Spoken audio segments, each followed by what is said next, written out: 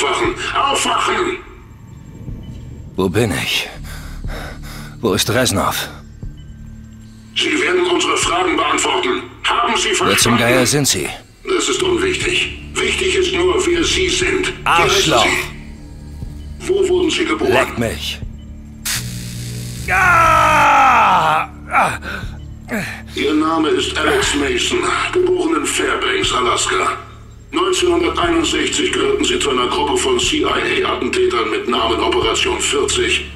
Ist das richtig? Ah! Ist das richtig? Ja, Wo ist die ich Sendestation? weiß nicht, wovon Sie reden. Die Zahlen, Mason. Was bedeuten sie?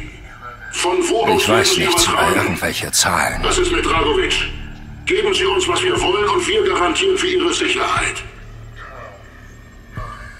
Ja! Fangen wir von vorne an. Kuba 1961, die Schweinebucht. Wir wissen, dass Sie dort waren.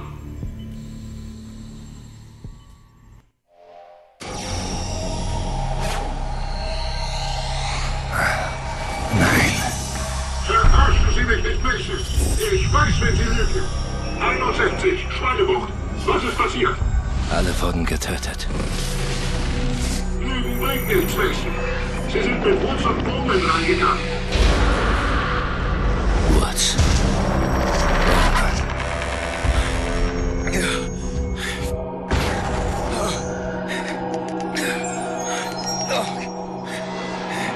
Dragovic. Erinnern Sie sich an Dragovic? Castro. Wir sollten Castro töten. Die Polizei wird gleich hier sein. Machen wir schnell.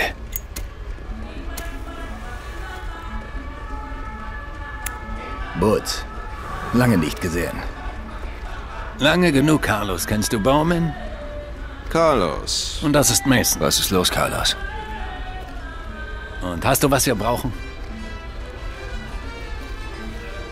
Er wird hier sein.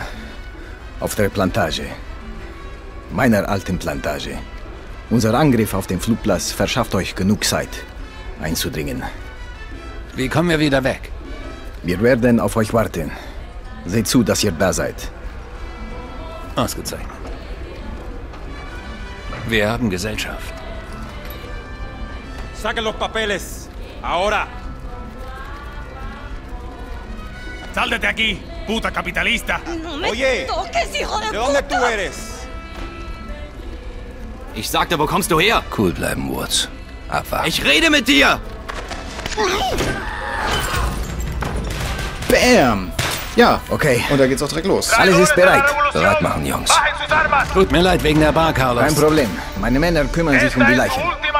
Genau, nämlich bei Call of Duty Black Ops. Äh, ja, herzlich willkommen zum nächsten Let's Play und zum nächsten Call of Duty. Ich habe ja mal angekündigt, dass ich auch die Reihe äh, spielen wollte und habe ja auch schon World at War durchgespielt und jetzt haben wir den quasi Nachfolger. Er kam zwar nicht direkt nach World at War, aber es ist der Nachfolger von Treyarch, weil es gibt ja Infinity Ward und Treyarch, die das entwickeln. Und das ist der zweite Teil von Treyarch nach äh, World at War. Ja, gut, und den vorherigen Call of Duty 3 und so ist es auch noch von Treyarch gewesen. Ähm, ja, aber ich habe ja gesagt, ich spiele es chronologisch, also zeitlich chronologisch und dann wäre das jetzt natürlich logisch, weil wir sind in den 60er Jahren äh, in der Zeit des Vietnamkrieges und darum dre- dreht sich auch ähm, Black Ops und wir spielen Mason, Alex, Alex Mason hieß er glaube ich, ne? Oder Henry Mason? Nee, Henry Mason war woanders. Der war doch aus Sand Hill, oder nicht? Es gibt so viele Masons in der Videospielgeschichte. Ähm, ja. Und, wow. Und es ist der erste, bis jetzt glaube ich auch. Na gut, ich habe nicht alle Call of Duties gespielt, muss ich sagen. Ich habe naja, ich habe die neueren Call of Duties alle gespielt, deswegen kann ich es nicht mit Sicherheit sagen, aber ich glaube, Mason ist so ziemlich der erste oder einer der wenigen, sagen wir so, der auch reden kann. Also ein Hauptcharakter, der auch sprechen kann. Was ich sehr begrüße, auch wenn die deutsche Sprachausgabe, gut, die Sprachausgabe von Mason ist eigentlich ganz okay, aber die englische ist natürlich immer besser. Man kann sie allerdings nicht einstellen bei Call of Duty, was mich schon immer genervt hat. Und wir müssen ins Auto, yay. Am Flugplatz. Suerte, Freunde. Gas! Los! Okay, Rückwärtsgang. Ja, wie ihr seht, wir dürfen tatsächlich steuern, aber nicht wirklich so wie in einem GTA oder was weiß ich. Wir dürfen halt nur mit den angezeigten Tasten und so ein bisschen Ach, wir dürfen nicht mehr lenken, seht ihr, ich wähle hier rum. Und es bringt eigentlich nichts. Wow. Straßensperre. Ja, und man sieht, auch das setzt mal wieder voll auf Inszenierung und das kriegt es auch sehr gut hin. Mason, Sie sind der Polizei entwischt. In der Schweinebucht liegt der Angriff. Sie waren unterwegs zu Castros Anlage. Wir verlieren ihn. Nochmal, wir haben keine Wahl. Was soll das? Da ist die Anlage. Carlos und seine Leute sollten jeden Moment den Flugplatz angreifen. Das ist das Signal. Eintreten! Ich hasse diese Stimme. Es Wirklich. Von dem Typen hier, unser, unserem Kollegen. Nee, er ist es, glaube ich, ne? Nee, Bowman? Nee, Wir dürfen nicht keine er. Zeit verlieren. Hier, der Woods. Die Stimme, ich hasse sie, wirklich. Das ist die schlimmste Videospiel-Synchronstimme, die ich jemals gehört habe. Ja, ist ja okay, wir kommen hier sofort. Zack, ja, und das Spiel lässt jetzt von Anfang an direkt keine Pause. Ihr seht schon, es geht Schlag auf Schlag. Direkt weiter. Und äh, ja, was man gesehen hat, Mason, den wir spielen, sitzt anscheinend gerade auf einem elektrischen Stuhl und aus ihm werden Informationen herausgequetscht. Das heißt, alles, was wir jetzt spielen, sind quasi seine Erinnerungen. Äh, weil die Typen versuchen, an irgendetwas ranzukommen. Und man sieht deswegen auch, dass sie sich das erste Mal so wirklich bei Call of Duty für eine, für eine äh, Story ja, Mühe gegeben haben. Klar gab es in den anderen auch, aber die geht einem eigentlich immer so am Arsch vorbei. Zack. Und den machen wir aller Hitman-Manier erstmal hier fertig. Alles konzentriert sich auf den Flugplatz. Konvoi voraus. Nicht angreifen. Okay, okay. Dann gehen wir weiter. Ich sollte nicht immer so voranstürmen.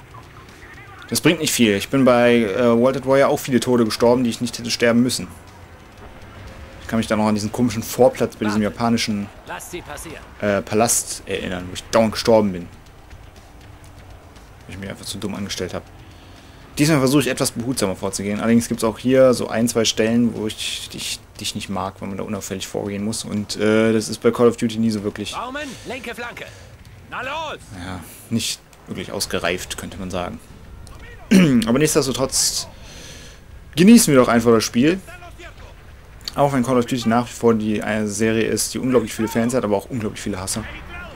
Und, äh, aber ich glaube so, Black Ops ist mit eines der Call of Duties, die am meisten noch heute noch online gespielt werden, weil ich sehe, sonst werden meistens immer nur die aktuelleren gespielt und das aktuellste ist ja Black Ops 2 momentan. Okay, wahrscheinlich, wenn das hier ausgestrahlt wird, ist schon Ghost draußen. Heute haben wir damit Erfolg. Und äh, ja, aber jetzt auf meiner Freundesliste, wenn ich mal jemanden Call of Duty spielen sehe, dann ist es fast immer nur Black Ops. Also das hier. Äh, ich spiele es ja nie online, habe ich schon mal erklärt, weil mich macht es einfach nicht an. Da spiele ich lieber den Story-Modus, auch wenn er... Naja. Also ich, ich, ich finde den Story-Modus von Black Ops eigentlich ganz okay. Ich habe schon mehrere Stimmen gehört, die ihn absolut scheiße finden. Ich finde ihn aber wirklich, wirklich gut. Vor Dingen auch so, weil es auch noch so ein paar Neuerungen gibt oder, oder Einzigartigkeiten, sage ich mal, die es in den nächsten Spielen dann nicht mehr so gab. Gut, ich weiß jetzt nicht, wie es bei Black Ops 2 ist, weil das habe ich ehrlich gesagt noch nie gespielt. Ich habe es nämlich auch nicht. Aber gut, man muss ja nicht alles haben, ne? Hinein, los! Ich habe ja nicht mal GTA 5. Was momentan noch recht neu ist. Vielleicht habe ich ja zum Zeitpunkt schon, wo äh, es jetzt hier ausgestrahlt wird. Mason, zu mir. Wir suchen jeden Raum ab, bis wir Castro haben. Ja, Fidel Castro ist unser, unser Ziel. Den dürfte man eigentlich kennen. Und den müssen wir assassinieren, könnte man sagen. Auch ziemlich heftig, wenn man drüber nachdenkt, weil es war ja eine lebende Person und das so nachzuspielen mit äh, schon manchmal so Aufregung über so Kriegsspiele verstehen, weil ich fände es glaube ich auch nicht geil, wenn ich in dem Krieg gedient hätte und gesehen hätte, dass äh, es jetzt Spiele gibt, die das thematisieren, aber naja. Ich will jetzt nicht wie so ein Paragraphenreiter wirken. Ich, mir geht das Ganze ja immer selbst auf den Sack, wenn immer gesagt wird, dass Videospiele schuld an, an Amokläufen sind und sowas, was absoluter Bullshit ist. Aber fangen wir jetzt nicht damit an. Hey, das ist der erste Part von Black Ops und ich verliere mich direkt wieder hier in äh, Erwischt! Rede Was zum Schwallen. Baumen! Und äh, ja, was ich nochmal sagen muss, bitte verzeiht es mir, ich bin nicht der beste Ego-Shooter-Spieler. Ich spiele, wie gesagt, nur zum Spaß und nicht, nicht für den Skill. Und deswegen gehen bei mir auch mal Schüsse daneben und Quickscopen kann ich schon mal gar nicht. So, das habe ich aber auch bei, bei äh, World at War gesagt. Normalerweise, finde ich, sollte man sich nicht rechtfertigen, wenn man halt nicht ganz gut spielen kann. aber bei Call of Duty ist das so ein, so ein Ding, oder bei Ego-Shootern allgemein, dass da viele einfach nur auf das Können achten. Das, da muss jeder Schuss sitzen und man muss super schnell durch die Levels sprinten, was ich aber gar nicht mag. Und wir sammeln uns. Tun wir's. Oh mein Gott, Zeitlupe. Ja, Zeitlupen-Action finde ich sowieso geil. Bam, bam. Ah, da ist noch einer. Ja, okay, die haben wir. Bowman, das Nest ist leer. Wir gehen weiter. Beeilt euch lieber, die B-26er werfen gleich ihre Bomben ab. Das Ziel sollte da vorn sein. Machen wir. Drinnen bewegt sich was. In Position. Ich nehme mir noch irgendwas mit. Ich nehme mir mal die hier mit. Ah, die sieht doch gar nicht so schlecht aus. Hauptsache die Pistole weg. Pistolen benutze ich fast sowieso nie. Ja, ich bin ja da. Hier, guck. Ich hau die mal auf die Schulter. Zack. Da ist er. Oh mein Gott. Und kabam.